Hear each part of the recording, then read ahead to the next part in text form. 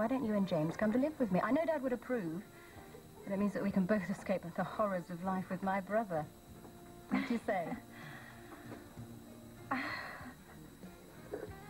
oh, and I had a letter from... You haven't got an audience. There's usually a lot of interest in the comings and goings here. Oh, they won't think that I'm your new... Well, that we're lovers. If you change your mind, I'm sure you can move back into Home Farm. If I was there, people would probably assume I was having an affair with Chris. We're not that twisted round here. He is my brother. Unless you don't want me here. Listen, I'd love the company. And having James. Oh, good.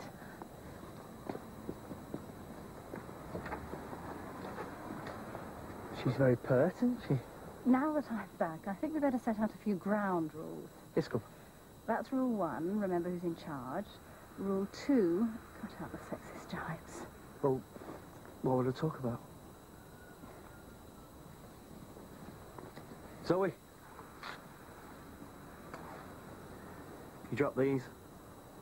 Rule two, Paddy, rule two. Oh, sexist jibes. right, here's the future. Cheers. Why are you so happy?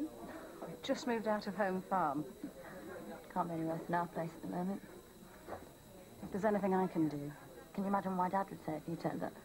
Can't even tolerate social workers, but the friendly neighbourhood lesbian. Freak.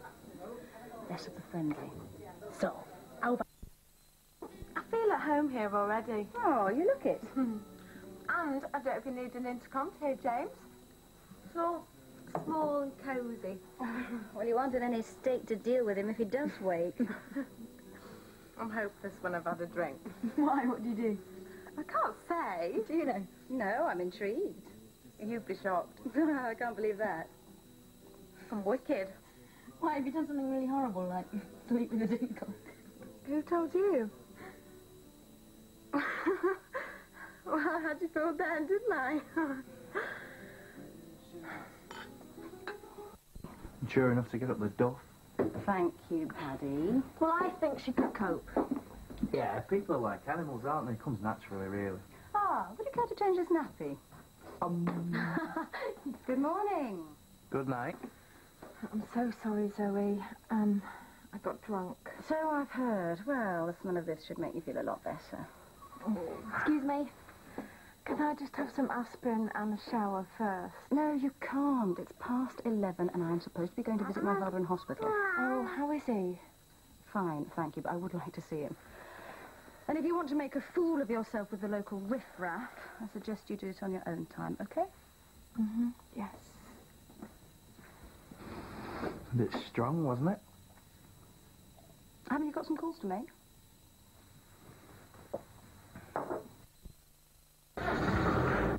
Really sorry for what happened last night. No, forget it. I can't. Feels I made a right fool of myself. Not at all. You're a beautiful woman, Zoe. You must get men trying to seduce you all the time. It happens. Oh, so I suppose you thought it was just another chat up mind.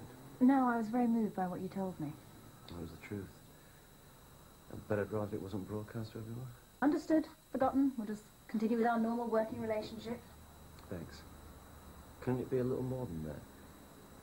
No, I know it couldn't be that sort of relationship. But we can be close friends, can't we? My point of view, Steve, if I'm attracted to someone, do I settle for just being friends, or do I ask for something more and risk being told I'm a freak? Or even losing the friendship? Or do you have someone in mind?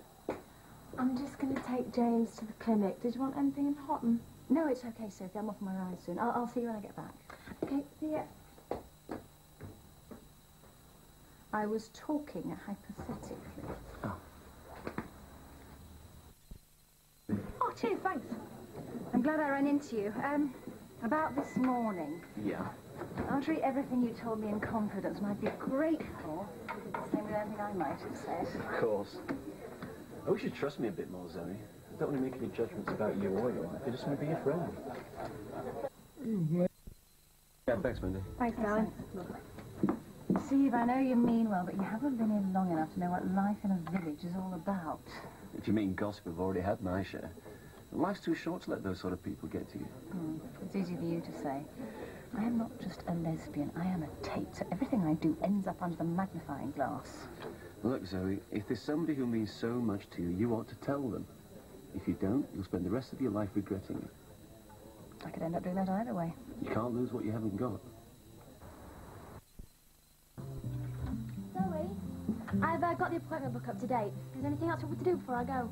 No, it's okay, Linda. You get off to the wine bar. Okay, I'll see you tomorrow. Bye. See ya.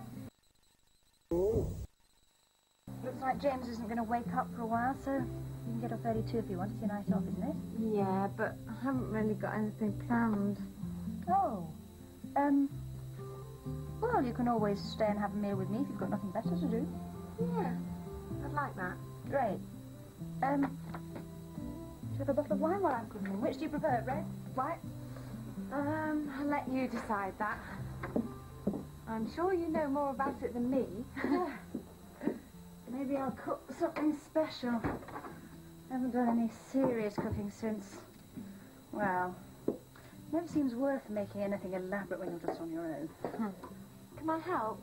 Not exactly cordon bleu class, but well, I quite enjoy cooking. Great. so what shall we drink to? Um, well, here's to us. Let me. Everything seems to be bubbling along nicely. Oh, should I get that? No, no need. It'll switch through to the emergency number. Locum will deal with it. I see. You're having a night off too. Oh, I decided we could do without interruptions. Gives us a chance to get to know each other better.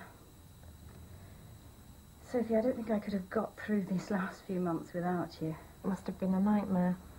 Kim disappearing and then your father being charged. Most people in your position would have got out at the first sign of trouble. I know you could have found another job if you wanted, but um, I'm just glad you stayed. I wouldn't let you down, Zoe. No, I know, and, and you've just been wonderful with James, but I want you to see me as more than your boss. I, I, I want us to be friends. Close friends. Try and make the custard. How do you feel about it? I don't know. It's not something I've ever had to deal with before. I've been out with a few boys, but none of them ever meant anything. Well, maybe you've just not met the right one. That's what I used to tell myself. It's what Dad still thinks. You know that's not true. Not for me. Look, I don't want to push you into anything. Maybe it's best we just forget this conversation ever took place. Maybe I don't want to forget it.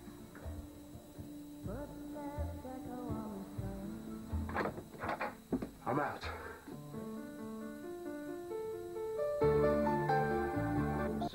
Position.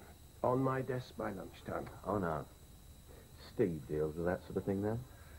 Got other things to talk to him about. Okay. All this means I'm not going to have a lot of spare time. I want you and James to move back into home farm. I need my son with me. I take it that's not inconvenient. Of course not, Mr. Tate. Glad to hear it. Must be time for James's morning walk.